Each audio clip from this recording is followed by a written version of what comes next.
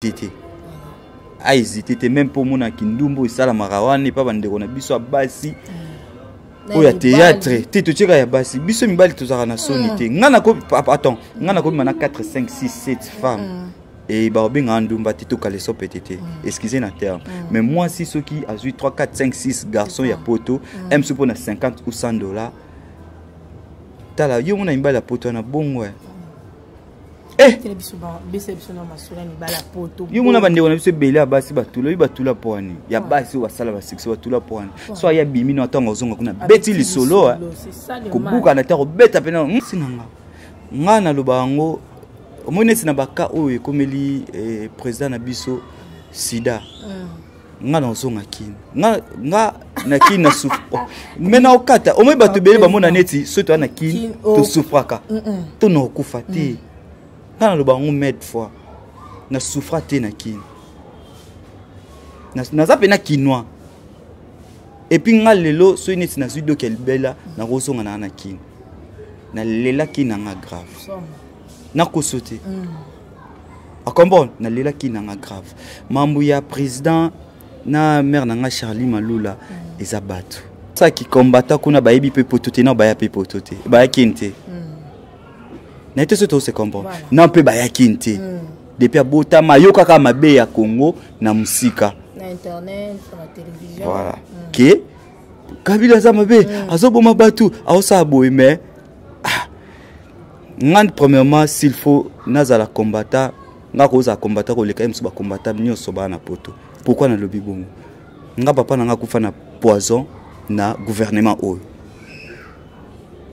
azalaki ka colonel lelo nde aza nani donc depuis papa akufa euh, 2019 awa eza 20 ans tant que, euh, tant que orphelin mm. 20 ans oyo mosusu bacombattant mosusu baza kuna na poto moko te aza blessé msu na gouvernement oyo lelo bazo agressé british photo ngai nalingaka miyibi te british photo naloba bien na british photo ya belgique ozwa bilamba na nga british photo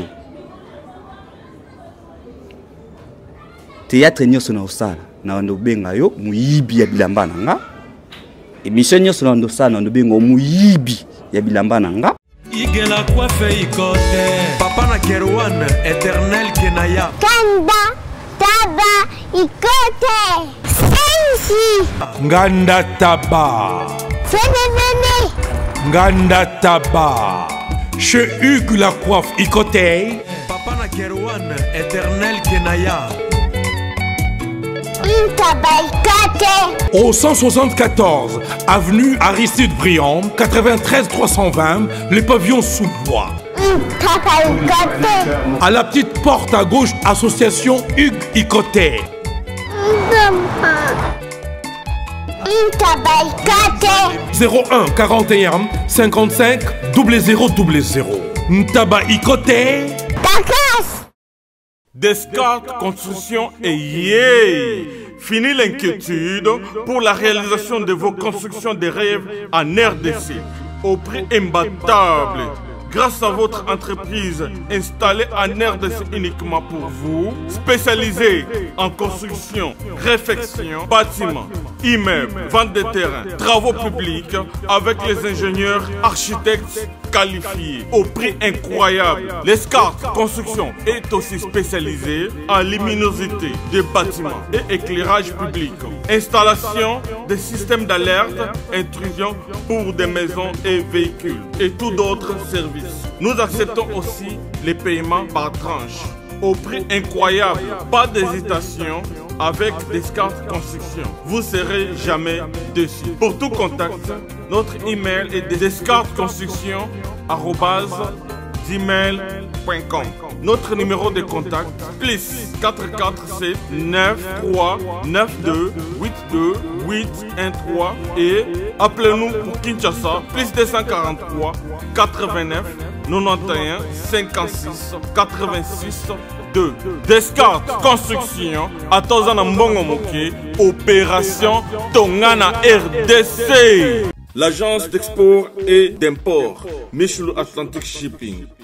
Eyei! Bana ya Canada, bana ya USA, bomitungisa lisusu te. Pour tous vos achats et ventes voitures, pièces de rechange et les accessoires possibles, na kotina ba colis na bino na Kinshasa, bomitungisa penza te.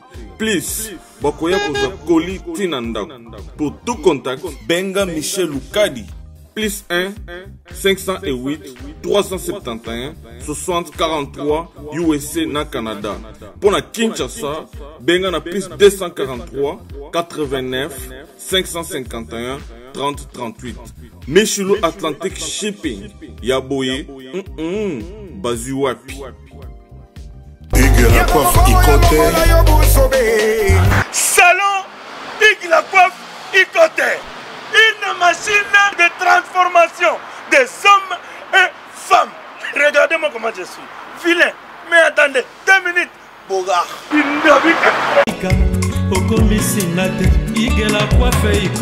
Hugues la coiffe Icoté.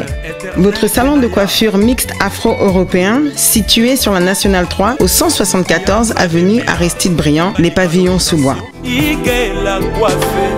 Pour plus de précision, veuillez nous contacter au 01 41 55 00 00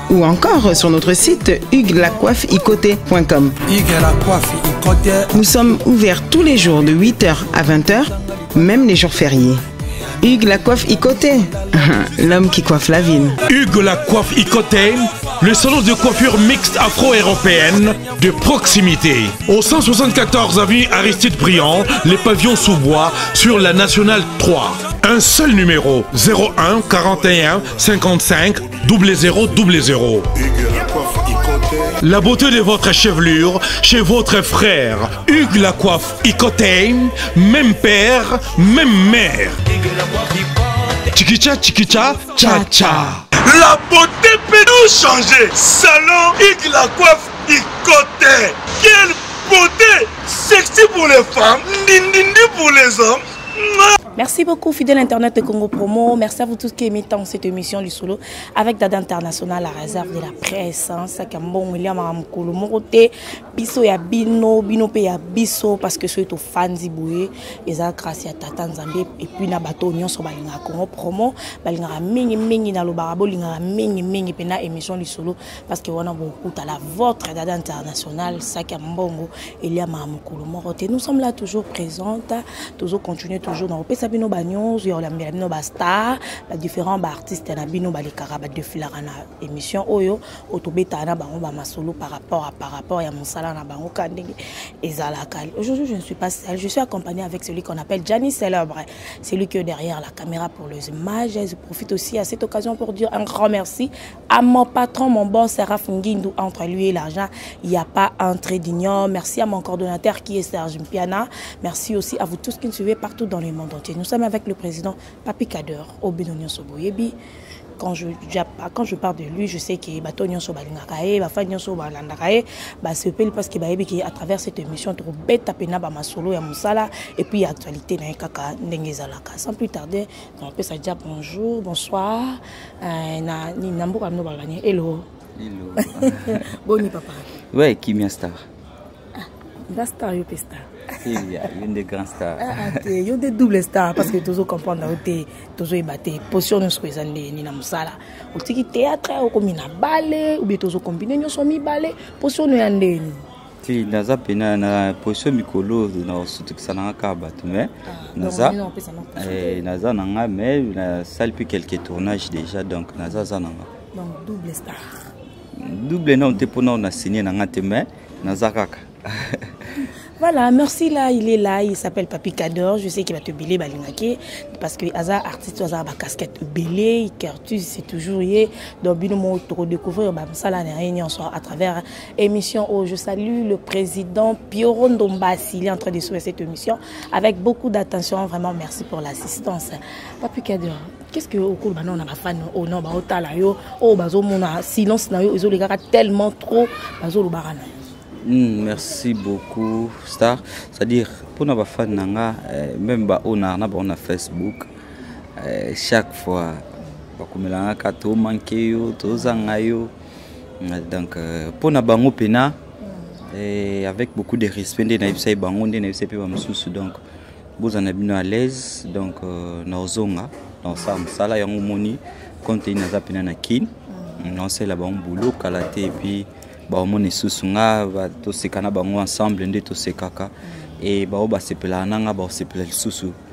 toujours nde basepela surtout baoyo basepela no na ndenge ya curtis mm. curtis c'est comme si ezo manqué ouais ezo manqué mais sauf que nako manqué mais eh, mas, eh, nani nada déjà mpe aza wana ah. ocomprendre ah, eh. donc nada nde remplaçant valable na yo bon ra, remplaçant c'est trop dur mais mm. eh, déjà ki omoi ntango duchesse akendaki mm. nga na, na, na couvraki nango ndire mm. to nga mpe nake na nga nada mpe akouvrir na ye voilà omoni mm. donc lobi nada mpe akokei na ye mpo nayebi ke makolo ya na nzela mm. akokei na ye omwa bofisco azwani mpe relève donc ça ne dérange pas mm. mais nalobi teke naleki bango epuis eh. kufa otoyebaka ke moto na moto azala na bafani bato mosusu banda olingaka ndika de aloba nekertusa nde oloba peut-être yango te to nde la duchesse abandi oloba peut-être yango te bazwaka epai na yo to bajeu na yo boza moto ya moto aza na bajeu bajeu eza différent eh, mwa absence wana ka ndenge eza bon absence oui c'est bon mais euh, nakufi na nga te naza mm. c'est-à-dire ntango bazwanga esu na scène mm. bazwaka même jeu mm. omoni bazwa même jeu marqué nazwi temps ebele nazalaki su vraiment te na scène mais bazwaka temps ya jeu wana nyonso nazali nango esquisse donc euh, elo baperdre ya te omoi baexemple neti bandeko na biso bautaka mikili ntango bayaka bazalaka kaka bango bonjour bonjour bonjour pesa code papa mais papa jibe service ezofungama partout dans le monde tozokende canada états-unis partout même à londres bazela biso kala mingi te jibe service ezokoma na service na bango nyonso tokwala nabenga mwana eh? mpo nayebi ke habitude sami ayebi ke jibe service eza na rege mais bino bozowa pondre kake ekomi na paris awa na biso na bretagne awa toza nango na nantes toza nango na pontivie toza nango na saint brie toza nango na ludeac toza nango na angers na balema sikoyo afongoli mosusu na paris bamboka ebele boye jibe service boza makambo bana poto bana mokili mobimba partout dans le monde adresse eza moko na jb service saint thérèse na chili station saint thérèse na nsima nango afose afose nde na police kuna bakangi bato awa yokangi koli jb service ayuna so raf ngindu félicitation pona promotion osalaka pona baartiste que dieu te bénisse akone pas demande ya rien en face congo promo rafi ngindu nde na ndenge mabe te congo promo rafi ngindu aza moto aza na mbongo bogar aza na bakara danger donc aa eh, moto anzala te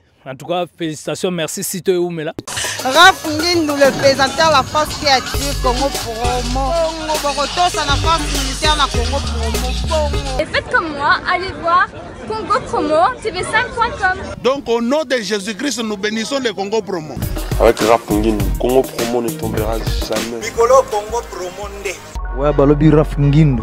Congo Promo toujours, grande puissance. Kamon. Congo Promo qui torcos net na film. Congo Promo babundana nango.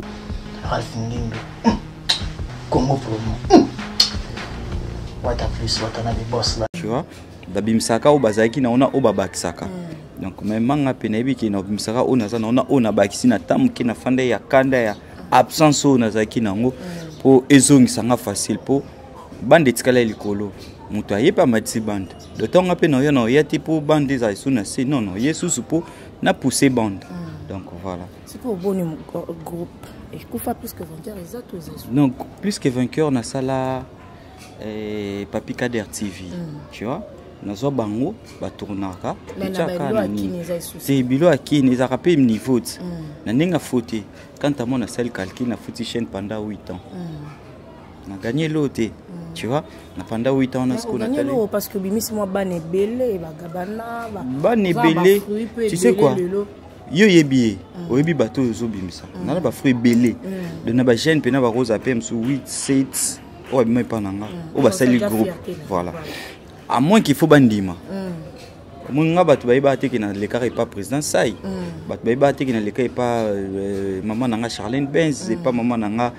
eh, marie hélène grâce ya koloba na nga mpo bango bazwi kutu basuccès to visibilité moke na groupe na nga mm. mais ngai na bagroupe nalekaki nazwaki yango te mm. mais ntango bato batuna ngai nalobaka mais eriva ntango bato batunaka bango baniaka acomprendre sikoyo yebisa ngai naozela nini mm. acomprendre donc euh, quant à moi euh, malgré kobimisa bana malgré mais namoni ke nafuti trop chaîne tu vois retour ezalaka te mm. de préférence mpo nga moko kogagner vie ou kogagner vie c'est trop dur mais moi ko, ah, ko, présence na ngai ya mikili eza grâce ya mosala mpo nasalaki ya nzonzi mm. ezali mpo nasalaki biloko ya libanda mm. tu vois yango nayebisaki bango boya kokota na libanda bona facilité moto akokabelo 50 100 dollar mais na kini ozwa ye te na kini kutu abanda osenga yango nde tolia te tu vois donc na poto okozwa moto aye apesi yo mwa t-shirts mm. mwa parfum tu vois Et donc euh, voilà voilà mais euh, ndenge ekoma boye c'est comme si moto théâtre yango na kinshasa ekufa na yango kaka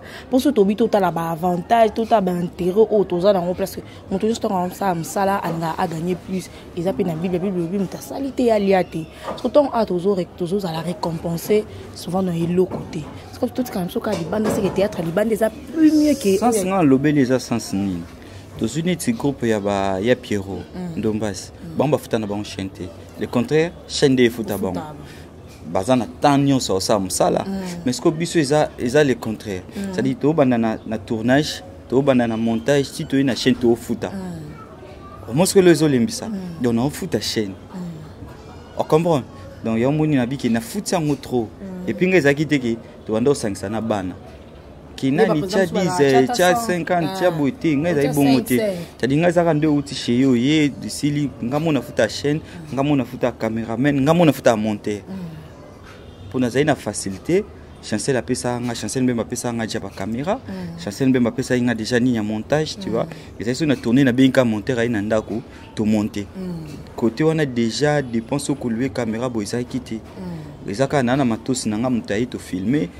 nafuti fin du mois monteur mpe maman mm. fin du mois nafuti chaîne tu vois mm. et natali sikoyo baavantage naluki sikoyo nayeba nao retour nanga eza nini mm. retour ezalaki banda oza plus ingratitude ya baartiste plus na tv nde tosatu wana sponsor te maintenant baomona président achange mwa tiombo président alati mwa nini buna bango ke to gagné wana okomprendre mm. ah, ok aza na barela na barelation na nga mosusu mm. po toa na sponsor te toa mpe na président te oyo afutaka tu vois donc euh, natali kaka ekotisi nga mpe mambo ebele rankine ebele na baacteur mpo neti nga boye na bandoi plus ko encadrer ba jeune frère oyo toza na bango presque na mosusu mpe miko mais yo oyebi kasi oza na bato boza na bango presque eza plus azoluka envie président a dit eh, tu vois ah, ndeni président voilà. ataka voilà voilà merci beaucoup merci beaucoup à Niclette Mosengo mon Niclette Mosengo ya Olivier Mosengo en direct de Bruxelles merci beaucoup à Mado Mbunga babi motema la patrona ya Fioti Ngoma je salue Bibi Tousse Kousiara ma grande sœur de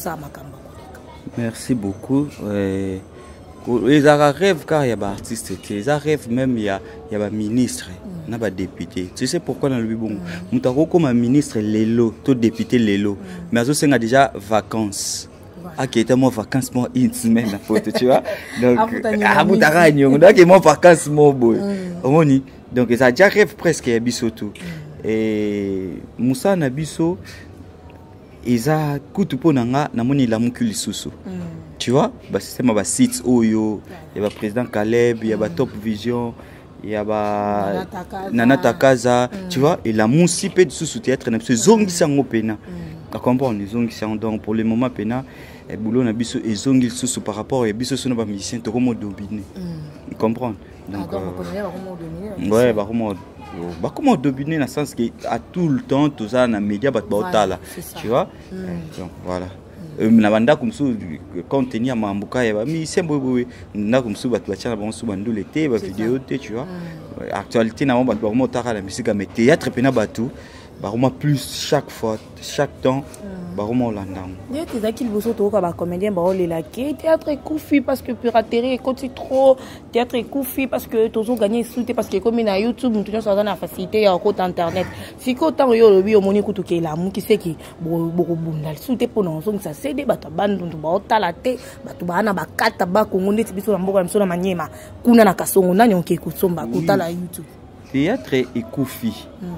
ekufi mpo ya nini omoni nga azwaki chance ya kosala batéâtre banzonzingi ya cd te hmm. ah. comprendre hmm. nasala yango epa président sai tosala Eh, kunzi lele na jésus de mbandaka mm. ya poto mpo ezalaki tosali nao na pota mpo tosali ya mm.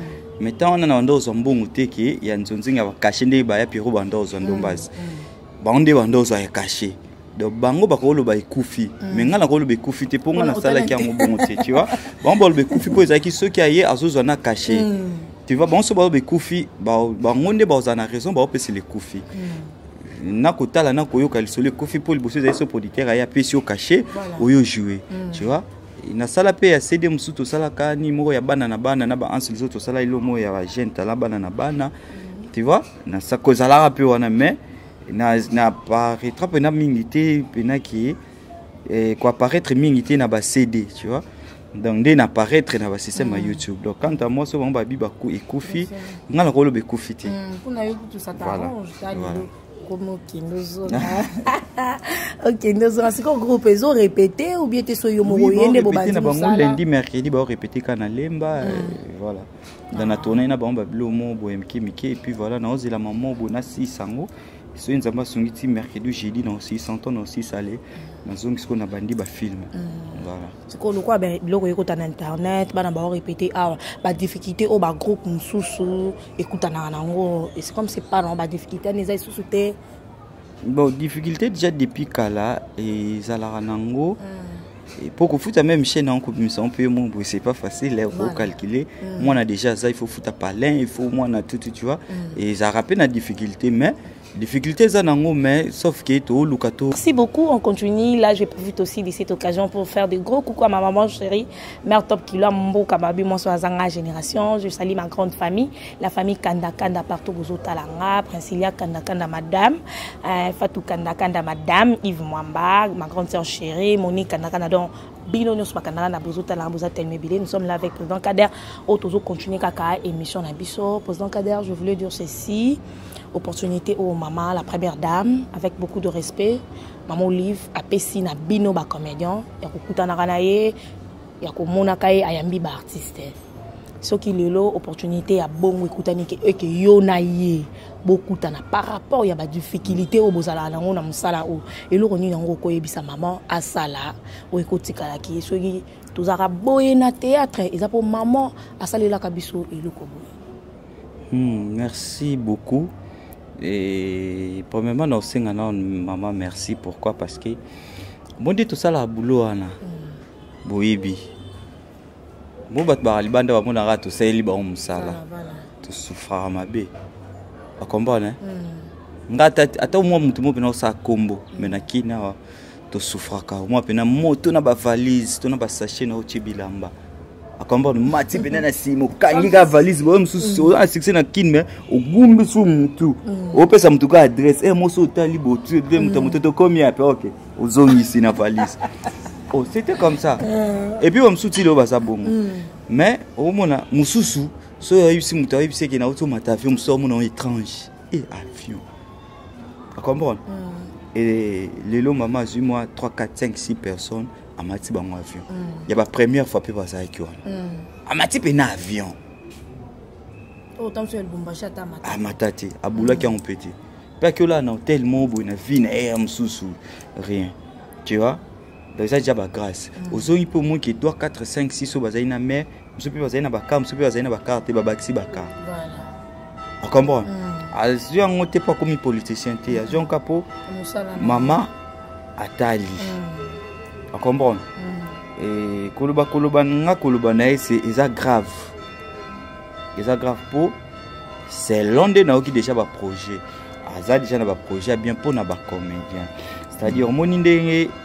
tomonaka ba nigeria eza gouvernement na bango nde esoutenaka bango c'est à dire bato batalaka biso na poto bayebaka te ke toya kosenga bandako mosusu batiaka biso boye na mosika tya baotya okomprendre msu bokoti mpena mpo batournage tosalaka banzoli tosango 2 3 4 5 jours msu boyaki botourne lelo mais lobi mpena boya esni botikali na 5 6 tableau mo eza important bayesa bino mpena mama alobaki soki boye toloba papa aboyaki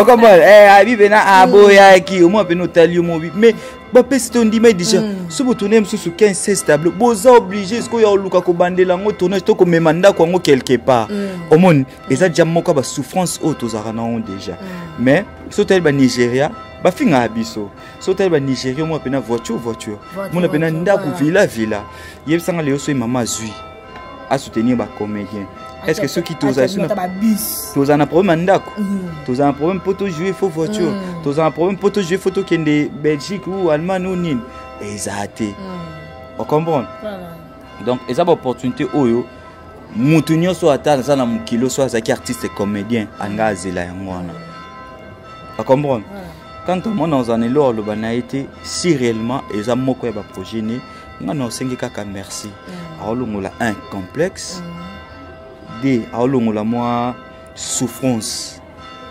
ocomprendre mm. mo eza na bandeko na biso mosusu wana babloka biso na batei na batelefone baka na poto mpona kosenga dollar osengaki ye mosusu bish tijur oyo ya mbo mpe te mso obengi mpe natali telefone ah. ah, tala kader azotongisa nga asengaki nga 50 dola ata moto ayebaki te mm. mais moto azali na comprendre ke ah, nasengaki ye 50 dola abwaki mpe tiombo eyesone nkombo nanga mpe ezobima ko papi kader na insiste esu mpo na 50 dolar yango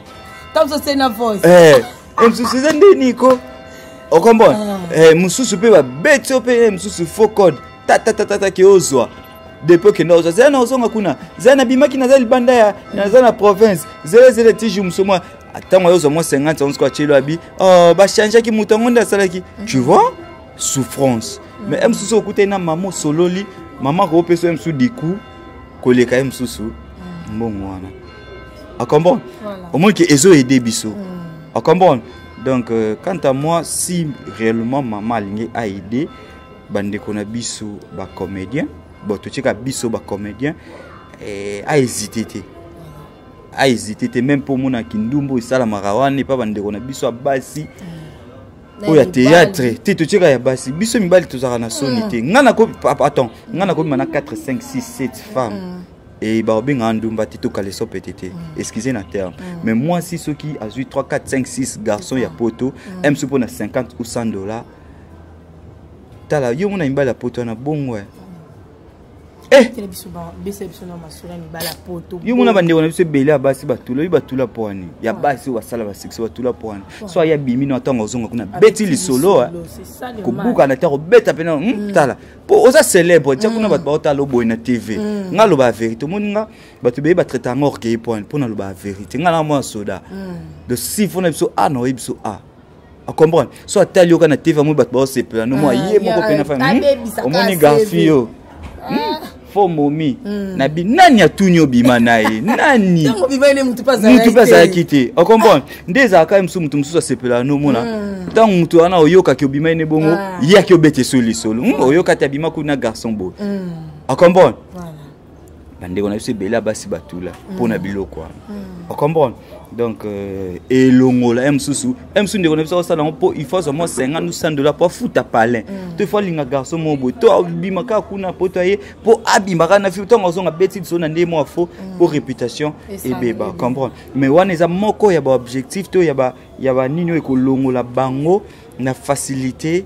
mpo mwasi aza motu moko boye tu sais nga le passé na nga moto ata abeti yango ekoderange mwasi na nga te soki tobalani mais le passé ya neti yo mwasi soki mm. tobalani na yo moto abeti yango mm. ekoderange nga acomprendre mm. or yo banda osala mpo e, oyo ede osomba mwa basket mwa nini e mosusu mpo osalaki na ndenge afoti tu vois voilà mais omona ndeko mbali obeta yango na ndenge mo boye mpo aimili akitio mpena na ndenge mo boye malgré baomono mwa star ye abeta yango mpo bamono mwa e tu vois donc eyaka bien te donc quant à moi s'il faut kolongola complexe wana s'il faut kolongola baide wana e mama hésité te nga hésité te afungola mpe na maboko voilà. parlant aussi ya babiloko oyo bamakambo ya poto tobeta mpe mwa lisolo mokie ya ndeko na biso grand frère na biso nalingaka obenge bingi mon tonton chéri josé de londres césar bilele facile à garer na baproblème eyelika na charlie malula oyo biso nyonso toyebi makopine apesi yo mbote mama na trésor lwalwa oyo biso nyonso toyebi eza libala ya obomba te tv eyebi kishasa eyebi bacomédien bayebi na bainconi bayebi par rapport ya baproblème eyelika président kader nayebi te soki deja oyoki obe te nde oza na kin okoti internet te poyoka merci beaucoup mpona respect ya je nanga sida bilele napesi na mbote esika azali eh, star dada oyebi natiaka biso hein? mm. parce que je suis artiste et comédien et, et président josé de londres pas ah, artiste et comédien voilà. natiaka biso mm. na jusqu'au ntango natie biso natie compte ya biso mibali voilà. tosufraka surtout wana mwasi na poto mm. pourquoi eh, mosusu volonté eh, eh. ah. mm. emsu volonté ya koboyana ya sida mm. na na, Charlie. na mère na biso charlie malula eza, eza bango mibale te mm. eza volonté mpe na bango te acomprendre mm. eza bango mibale te eza mpe volonté te ah. mosusu eza kaka bato napesa exemple moko mm. toza na kine tobotami na kine grandi na kine nga mpe nasali mwa trop libala yango mpe ya ye mosusu fima auti poto aye akowutani mpe poto aye boke mpena présente mosusu chez bango to aopresente teke mobali na mais amemoka chez bango comprendre kaka ke afandaka awa auti na famille oyo tese na ntango okende kuna omwaka famille na ye bandeko na ye niveau bakoki bando bude bawata pena na seti likobama pena ke mm. temoraka na kino oza artiste comédien osufraka donc nde eza bonde okoma ozwi ya na bango mm, donc akoma bapasi no nyonso ekomi ka epai ya na bango ebandaka na famille mm. ya mwasi na bacamarade ya mwasi tu vois zwa sikoyo chance eh? mwasi yango aza mwa makasi okomi mpe poto omoka ntango bayoka kaka ke eh, ni, peut-être eh, mm. Nicole amemi mobali na ye ya comediana na poto mm. je te jure eza bafamille ya mwasi bacamarade na ye e eh, yo pene bango bato omemi mpena mobali na poto e lio mema ata ndeko okomprendre te ba ekenda na okubaka nano basi na bango na théâtre te Ah, oh, oke omema sia otuli to nini yango mwa tu vois nde bolinganaki bayebi te nde bobandi boyebi te nde bosololaka bayebi te mm. tu vois ntango baotyango déjà te hmm, oyebi te akokima soki azwi mokanda akokima soki mwasi mpe ekomi kochangise baboule appétit vient en mangeant mm. de tout le temps ntango azokoma bongo omonake mwasi akomi na comportement moko boye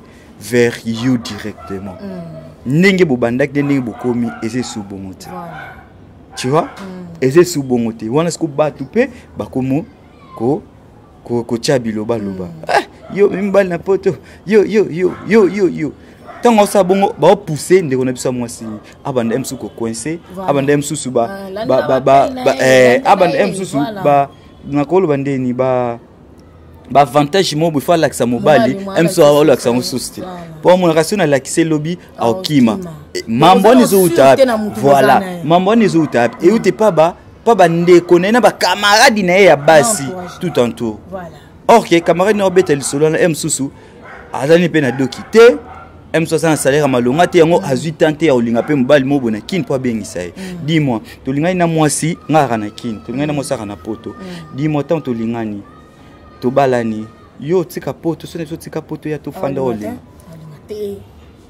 puisque soki tolingani bongo yo oza avantage ke ngai naya mpo nga soki yobi oya yaka na yo soki ezalaki ke ngai nakende pourquoi il faut eswa bafamille ou bacamarade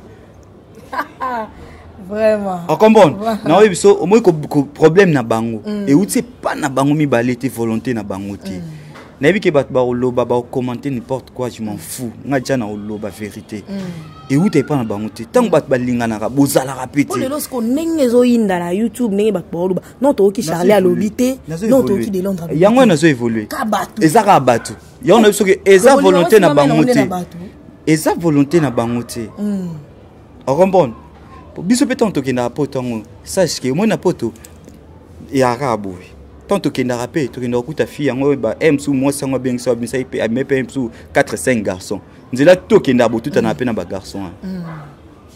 on supporte aussi voilà. oye boye ya dada na biso basi mibale eh, na ye mpena boye nakutani na motu mona oyo bapena moi motu abima na mwasi nango eswaka hmm.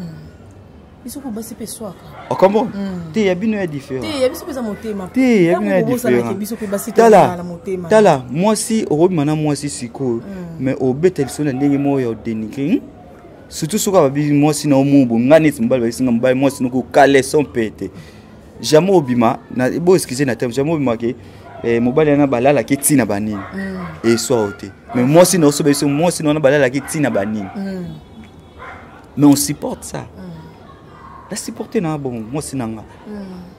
akomprendre mwasi na nga nga naloba yango omoni neti na baka oyo ekomeli eh, président na biso sida mm. nga na ozonga kin nga nga na kin na souffre oh. mais na okata au moins bato bele bamona neti soki toza na kin oh. to souffraka to na okufa te mm. nga na loba yango made fois na souffra te na kin naza mpe na kinois epuis nga lelo soki neti nazwi doki ya libela nakozonga naa na kin nalelaki na nga grave nakoso te mm. okomprendre nalelaki nanga grave mambo ya président na mare na nga charlie malula eza bato eza volonté na bango te osolingi opesa bango conseil tant que grand frère na yo nayebi ke ya josé aza grand frère na yo tant que charlie malula mpe aza belle sœur na biso neti mare charlie malula mm. toane bami na facebook nazwai na otan obenga ye te kosolola na ye mm, aza mpe na déplacement aza na londres si je me trompe pas eh, omoni donc mpo na ngai nayebi deja mambo neti sida aotika loloba te mm. alobaka te donc aotikala bino oloba te soki ezaki bana na ye fo baloba fo mm. nde siko abenda bango matoi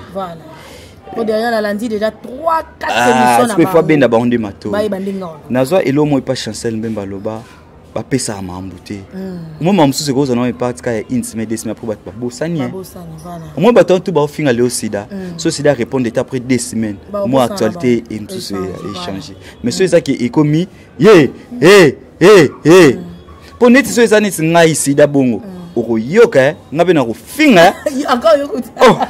ala mwana soda na biso nakofinga oyo oh, bino bofinga boke na esante nafinga yango oh. boke boye nafinga makila moko omoi eh, makilo eza wa eh. yango eza epa moto aofinga o omo mpe moto afinga okomosana ne mpe bien te eh, mai ko eza yango mpe moto azofinga nga mpe naa nango okombo siko nga eza page moko boye publia nga na pesi yavo aurore mbote publia nga kaka tya n'importe quoi na finga na ngango nayoka soni te opo bato bakoma oza star makila oka yo oza nango nga mpe na nango sa artiste yo donc faut finga nga fo critique nga ya yo moko nga kuna bandaki yango akombon eh, nga na ofinga na na ofinga pena tofinga niso eza mpe kifo tokuta tobunda tobunda so obomanga bominga mm. actualité ekei nakufa seke ezalaki liwa na nga mm. mais na ndenge mwa koyoka bato eh, mwa mbemba mm. chancel mbemba ekoma pena siko sino olobi ya miso mpe na fibi na misapi to nalema nzaka mpo eh, nayebi ke après esanaka intimo de semaine ekei sino voilà. ntango naoleka nzela bato baoyebi bango so te ah. quant à moi naoyebisa nde mare charli malula ah. abenani bango kaka matomatoi ntango tolinganaka bato bayebanaka te et puis est ce que na bapoto yango bato baokabonaka eza baartiste voilà. okomprendre est ce que eza ka baartiste bino mibala poto ka boye so bamemi bino na poto kuna ingratitude biso basi ya kish ya basi ya théâtre tozoboma mabala me ngai na organise aza na libala ekoma basi ya théâtre bafanda na mabala te organise aza na libala siara aza na libala doma euh, baza ebele baza na baya piero ndombasi na suisse kuna hmm. aza na libala nani amanda oh, aza na libala ocomprendre ah, bato baza na mabala baza ebele comme bafille ya hmm. théâtre ocomprendre ngai na biso ekomelaka nde biso bagarçon okomprendre mm. omwa mpena famille famille mpena ya mba ya mwasi bakomolando mpena mm. babosani ke aye mosusu banda otya okati me banda olata notya basket peut-être mpo mwasi moto abali yo mwasi moto afuteli yo biye kasi mpo okende ti ah. estce ta mosusu yo ozali na bapossibilité bon yo obali ye me ye moto afuteli yo biye bato bamonaka eh, ye moto abalaki ye nga na contre lomo balobaka ke olingi oyebi ke soki nga nalingi yo mm. eza te ke nga nde nalingaka mais yo nde oya kolinga mm. po yo so oboyi nga na olingi osute mm. c'est-à-dire ocomprendre mm. c'est-à-dire ntango nga nalingi yo tu accepte seke tolingani ezalaka te ke nga nde na te ocomprendre balinganaki ntango babalanaki mpe babalani napesi exemple moko bo bon yebisanga nde babalani boyebisa mare charlie malula aya boye ayo ofandaki intero azalaka nango na mm. poto mm. cetadi lokola ata interese ke ngai fo nakende mpo libala moko te ezala ke oye bosali un mois vacance mpo mm. okei ngai natikali ezala te okombo soki sifo naya bo naya kasi te ntango naoya pourkui fo bato bakota ndeso mabala wana bato baboma yango oyo eza ke bato babalani na poto mwasi azwi ezalaka mwasi na mobali bango mibale te ezalaka entourage na famille surtout famille ya mwasi mm. na bacamarade ya mwasi mm. bango nde babomaka libala okoki koma mpena okomi na okomi na point mwa boye ti mpo batikaka te mm. akomba okomi mpena mpo mwa bon naboma yango kasi neti asida mosusu sida te moto abomi yango se renseigne msusu sida te moto alingaki yango msusu ye te moto abanda yo na oyebisa yo msusu bato kaka nde batiaki mare charli mm. malula ba étention moko boye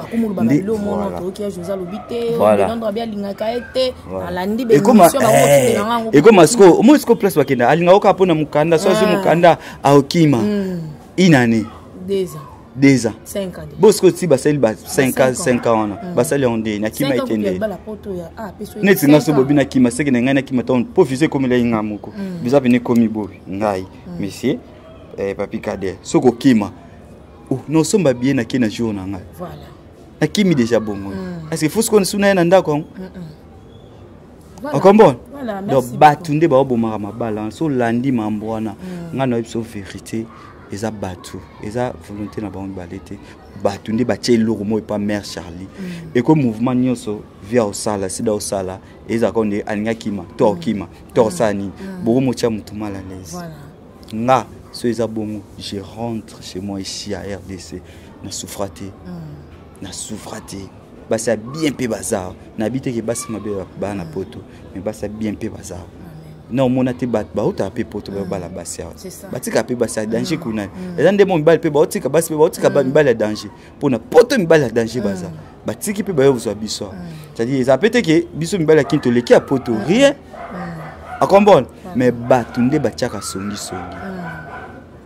voilà président saisai oyo azalaka président na yo mm. aza na afrique du sud azalaki na en fait akendaki voyage na afrique du sud mais bacombattant ba bayambi ye mabe te nayebi te so oza na information na mm. azalaki kutu retenu na la police je sais pas par rapport à toi qu'est ce que tu peux dire na président saisai na minute oyo soki azotala yo et puis na bacombattant oyo baagresse ye kuna na afrique du sud Mm, merci beaucoup ya dada phénomène euh, euh, naoyebisa na président na nga fiston saisai courage courage parce que eza eh, courage nanu premièrement eh, nayebi kaka soda nayebi kaka soda courage nanu premièrement et deuxièmement mpo na bandeko na biso bakombata omoni nga aloba eloo momi bakombata nyonso baza na basalaka mabe te mais est ce que lelo soki président oyo toza na ye lelo président joseph alongo phénomène qui combattait esila esila te mpo eza mosusu aoya wana bakombata mosusu babima kaka okomprendre mm. donc bakombata mosusu babimaka oyo babanda koagresse mm. oyo baolinga président wana te mm. okomprendre eza na bato mosusu baosala kikombata kuna bayebi mpe poto te na baya mpe poto te bayaki te na ye te soki tose comprendre na mpe bayaki te hmm. depuis abotama ayokaka mabe ya congo na mosika voilà hmm. ke kabila aza mabe hmm. azoboma bato aosala boye mais ah. ngai premièrement s'il faut nazala combata ngai akozala combata koleka ye mosusu bacombata nyonso baa na poto pourkui nalobi bongo ngai papa na ngai akufa na poison na gouvernement oyo azalaka colonel lelo nde aza nani donc depuis papa kufa euh, 2019 awa eza 20 ans tant que, euh, tant que orphelin mm. 20 ans oyo euh, mosusu bacombattant mosusu baza kuna na poto moko te aza blessé ye mosusu na gouvernement oyo lelo bazo agresse mm. nayebi te soki tose comprendre voilà. ye mosusu aza na choc oyo ngai na na honte 20 mm. epuis namona place bakunda papa na ngai te mm. bapoisonne na lubumbashi akufi bakunda ye mpe kuna mm. si fo namoni ifo nakende na 20 nini na ye nde ifo nakende komona tombo na ye mm. donc na novembre awa akokisa 19 ans mm.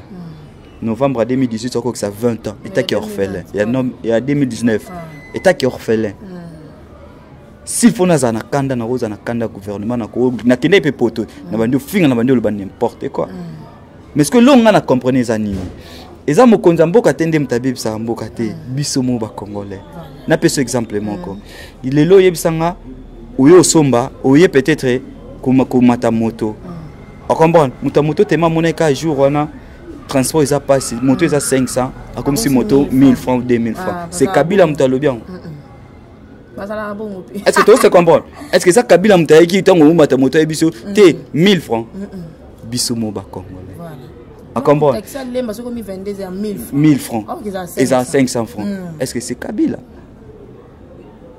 nazopesa bango mpe tor te mm. si basala mamu na bango mpo mm. papa na ngai banda oloba muna moto aza na raisonnement na ye ya dada bakotya 1 plus 1 boye omoni kiye mpo 8 ans ocalcule olie mpe manzaka otya mpe impossible mm.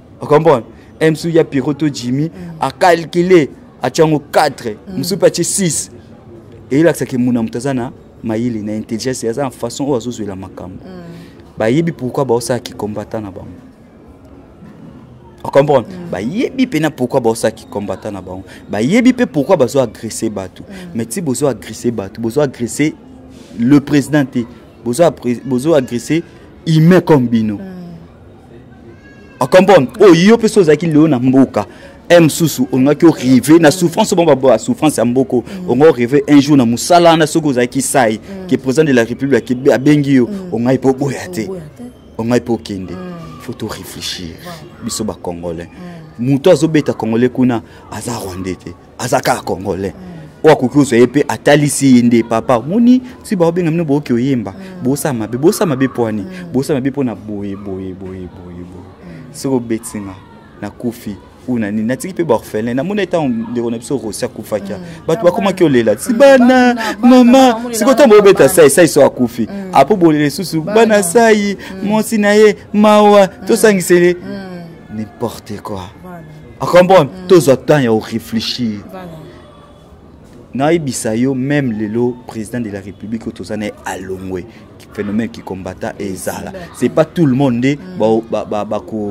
bako bakozwa soki eh, richesse mm. bakokóma na te biso toviva bien na deuxième république ntango mobutu azalaki mm. tout le monde te nde abanda ovivre bien ocomprendre ngai na viva bien na deuxième république soki natiaki esprit wana lelo nde mosusu naza mpe na poto te ke ah, mboka eza bien te congolais mabe na yango mboka ya bien te ofani te hmm. bunda bunda bunda hmm.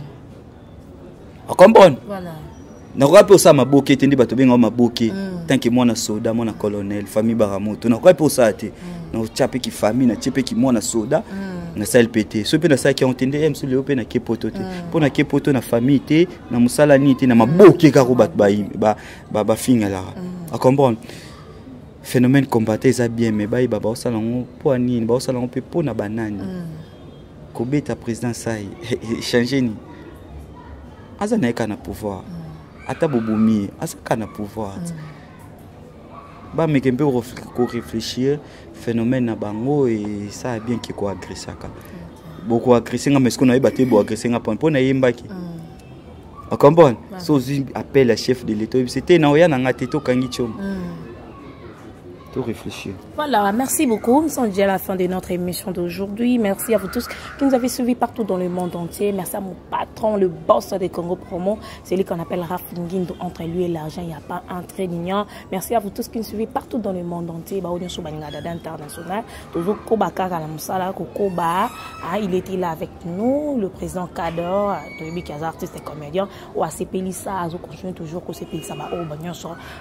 balingaka mosala théâtre balingaka baartiste na biso ye nde tosepelaki kopartage na ye mesa lelo tosolola par rapport ya émission na biso ya lisolo président kader tokomi déjà na suka baprojet na yo baambition na yo par rapport ya mosala oyo epuis mwa quelques salutations kaka lumière du jour nde ekoti ekomoboma biso déjà mm, baprojet déjà nabaidaki mpona plus bafilme mm. naobanda ngo kala mingi te mm. et s'il faut salutation naza nano na kini s'il faut salutation eh, bato dia bayebi napesa na ka chancel mbemba mbote mm. epuis bafélicitation eh, sauf ke vie eza combat mm. nayebi ke baobundise trop mais eh, bolamu na ye nde mm.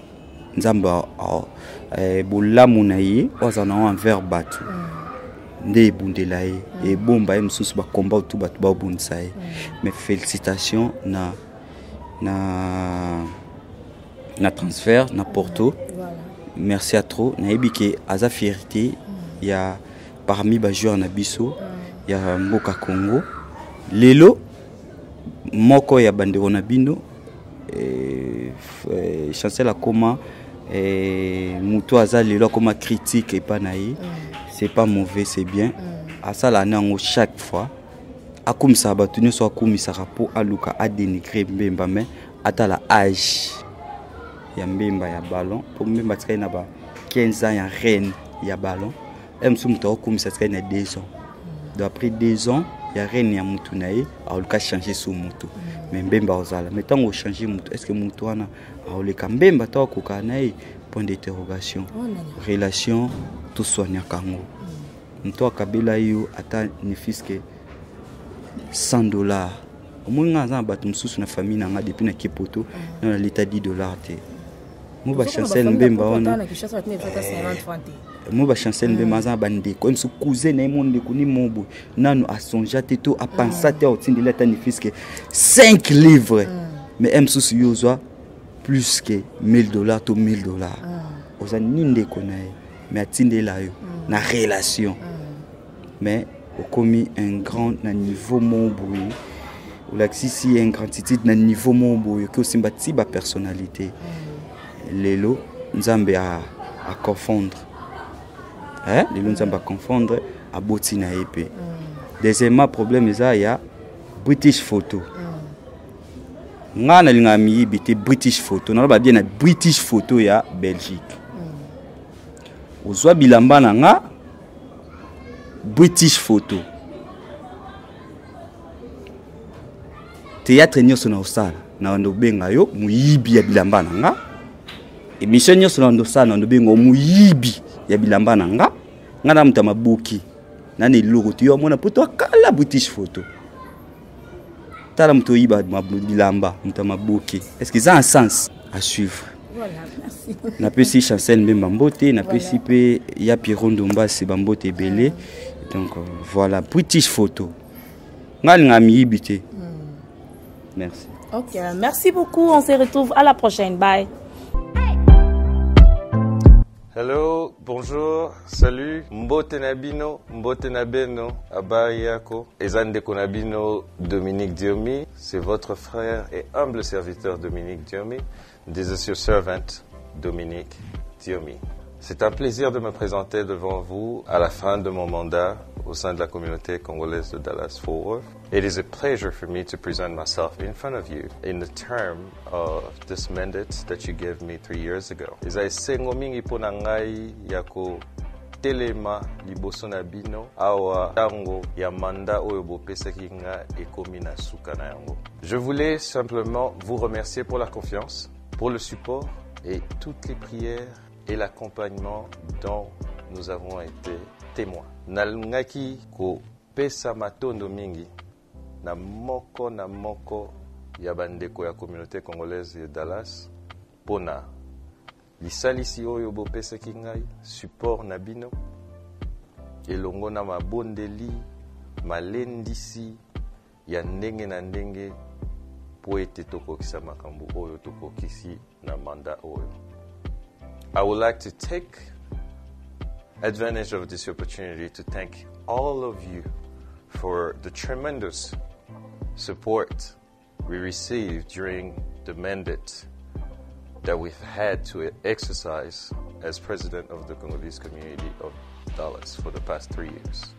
It is with a lot of joy. It is with a lot of grateful for your support.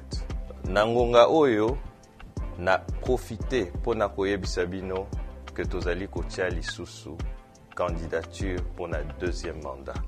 Je profite de cette occasion pour vous annoncer notre candidature pour un autre mandat. I would like to take advantage of this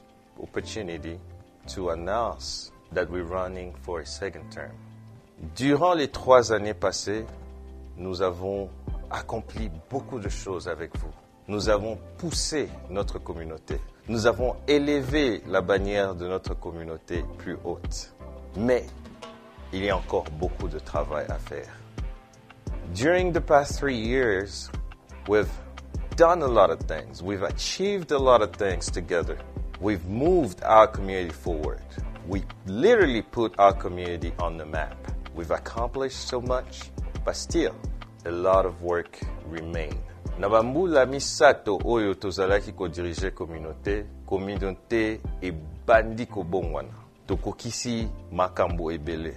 Tosali ba avances ebele. To, elongo na bino, totomboli bendele ya communaute na biso na kati ya mokili. Kasi mosala etikali lisusu ya kosala mpe nanu tolembi bino te lokola nzoko alembaka mino na ye te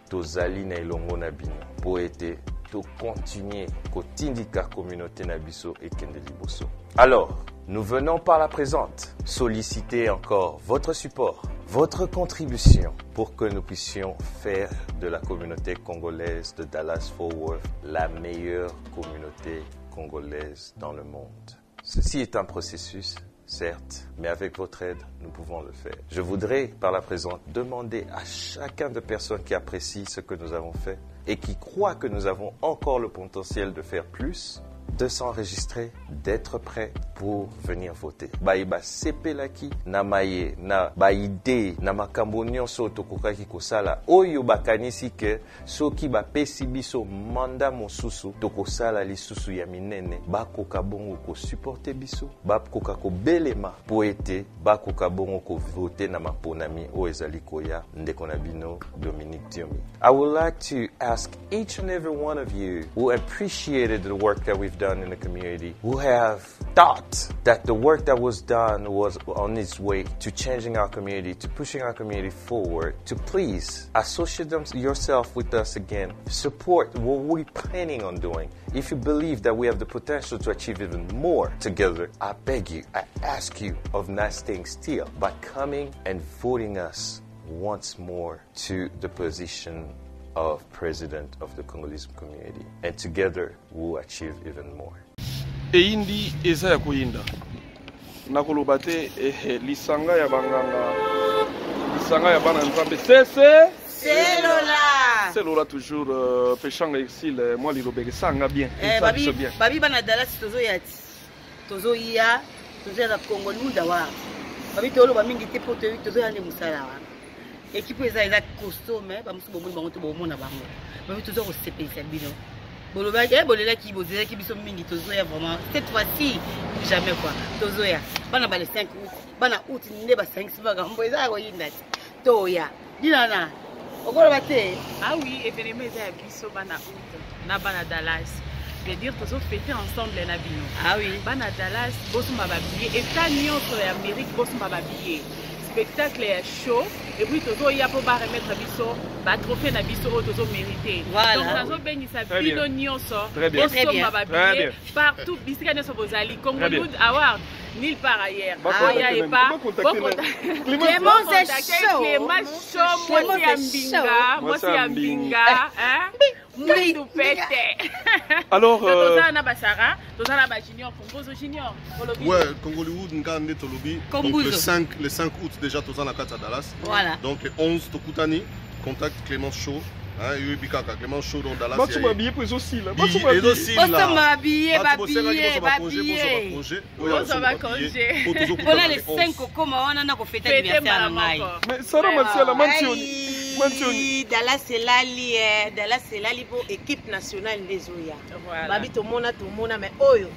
toye nde dallas bana dallas biso tokendaka na biso partout ah tu oyo texas donc texas ezoyinda bana dallas i bana dallas ah, ben je crois que ça va briller l'événement c'est le 11 août l'événement parce que là on va nous remettre des trophées we're gonna come very soon to get our own trophy, the awards. Then we are coming to Dallas. nakoloba mingi te mais événement ezali le 11 août nde eza événement mais biso déjà ba le 5 neti kaka tokozala déjà na dallas euh, euh, rien à dire